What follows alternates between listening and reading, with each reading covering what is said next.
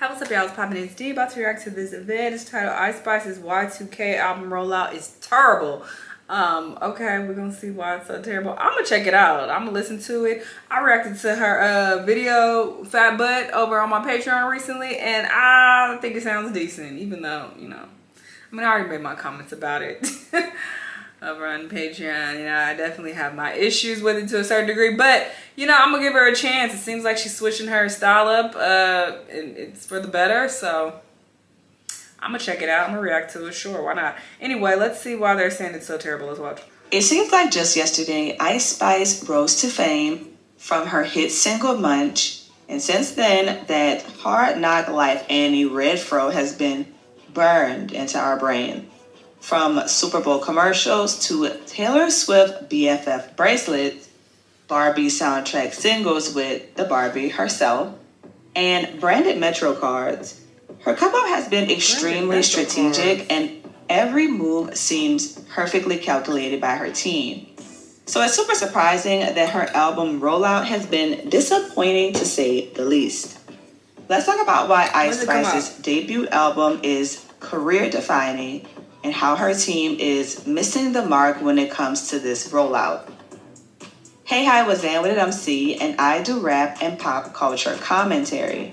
So if you're into that, subscribe and hit the like button. In March of this year, Ice Spice revealed that she finished recording her debut album, Y2K. Girl, this announcement came after her song Fart, which marks the end, well, hopefully, of her back and forth with Latto.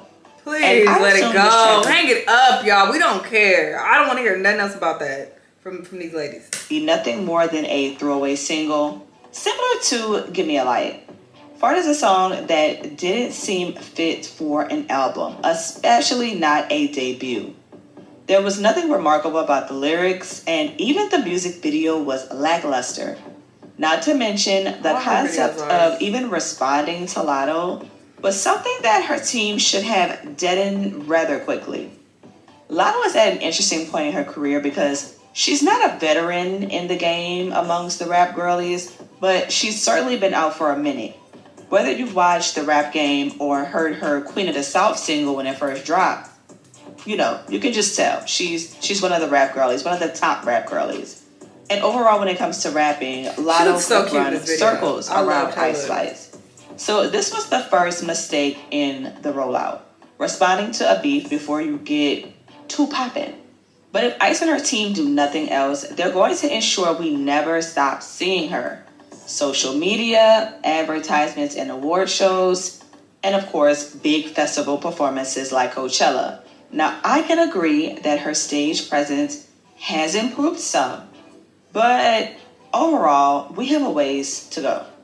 I'm not saying that I need an eight count dance routine while she raps about being Miss Poopy, but something other than her pointing and turning around to twerk every couple of minutes for the crowd's reaction, you know, that that would be nice.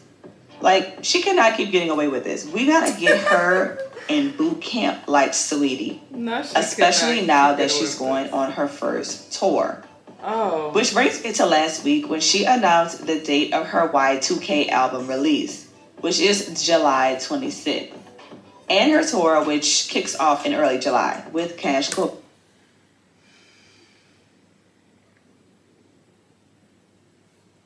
Vein being her opener. We can start off by saying that Ice Spice is definitely ready for a debut album, but a world tour? Right. I would say wait at least a month after the album to start touring.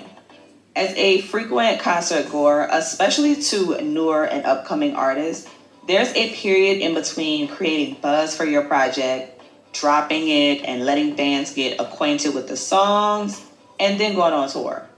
It's not like Ice Spice has these super lyrical songs that we need to learn before the shows you already know everybody's going to be in the crowd twerking, recording videos, rapping to Munch.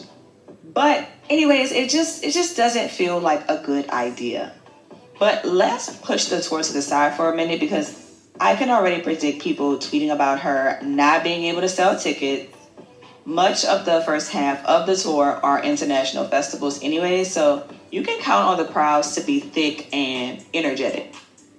Let's get to my favorite part about albums and album rollouts the artwork.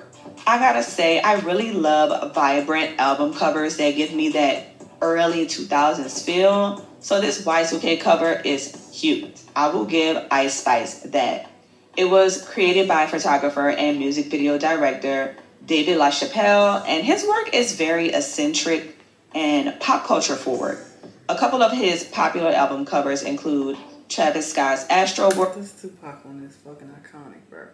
World, Doja Cat's Planet Her, Mariah Carey's Rainbow, Lil Kim's Notorious K.I.M., and even Megan Thee Stallion's iconic. cover for her upcoming album, Meg. Oh, I hate it. Yeah. This is her official cover? Oh, I don't like it. So I love his creative concepts and album covers. Until I realized, like much of Twitter, that the album title is on the trash can.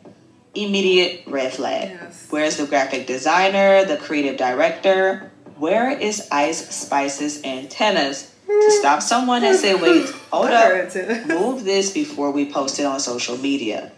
Either her confidence is through the roof that something so small like this won't matter, or someone on her team is secretly plotting on her demise. Damn. Now, someone did bring up to me yesterday in the comments that it's supposed to be a nod to trashy Y2K and the era overall. Okay. I just don't feel like she pulls off that look well. Like it just gives just trash. And whatever. trashy Y2K and the era overall. Okay. I get that. Ice Spice totally embodies it. Juicy couture tracksuits, tramp stamps, rhinestone, and bedazzled everything. Okay, I got it. But the but there's I've seen girls on TikTok especially who pull this look off in a way that just looks fashionable. Like it looks trendy. I don't feel like she pulls it off well, but last thing, thing that Ice Spice needs is for this album to flop and people have a field day turning this cover into a meme. I can already see Joe Budden now. If that wasn't bad enough, when a fan mm. who is a graphic designer, he decided to tweak the cover and add the album name to the wall as graffiti and remove it from the trash can. Mm. Listen, Ice Spice woke up choosing violence. She poked fun at the fan and his previous graphic projects. An opportunity that really could have served as a teachable moment and, to be honest, a marketing moment. It was ruined. Because let me put on my PR hat real quick. Ashley, let's all put them on, y'all. If we are Ice Spice's team and Ice Spice in general, I'm not only going to respond to this guy to thank him, but I'm also going to request him to make me a little something for the album drop, you know? Maybe some artwork for a single or even merchandise. Yes, I am paying him for it. It's not for clout. Get real. Because I'm killing two birds with one stone. One, I can showcase that I appreciate my fans and their attention to detail. Two, I'm giving support to the community during Pride mm, Month. I don't agree with that. It's a win-win. But here go Ice with the lose, lose. I'm not sure if it's just me, but Ice Spice and her team seem entirely too confident for the things that they are pulling before this album release. That's her team? Dropping these crappy singles, many up too confident. It all makes sense. This makes sense, bro. And for the things that they are pulling before this album release. Dropping these crappy singles, many of which sound the exact same because it's like she is not coming up off a riot with this production. And I get it, but no. She's clapping back at fans like you won't need them to stream and buy concert tickets. If you ask me, her previous project, Like, will probably have the better songs and features. I actually really liked that EP and the deluxe. The songs fit much better with her aesthetic. She needs to stick to the whole slow drill, baddie anthems like Butterfly Cool. No, people are tired of that. That's why she have to switch it up because she sees that people are tired of that. In Ha Mood and smooching. I wouldn't be surprised if like outperforms Y2K or even has similar numbers. And I think she did 15K first week. So I don't see Y2K doing much more than that. If we're being super optimistic and she has crazy features, 30K. But we being real, 15 to 20K. but I guess we will have to wait and see. I don't know. A lot of that I don't agree with. I feel like people are tired of that same slow drill sound. They're they're bored. That's why she switched it up completely. Cause her team, at least they they recognize that like we gotta do something different. People are they're they're they're they're clocking out. So I think she should stay down this path and, and keep switching her sound up and give us something new. Um, but yeah, well, we'll see how uh, her album sounds when it comes out. That's a month away. I mean, I'm sure somebody will remind me in the comments. hey, do you react to Ice Spice's album? It's about to drop. Y'all let me know around that time and I'll react to it. Anyway, let me know what y'all think. Let me know what other videos you're going to watch and I'll see y'all the next time. Bye.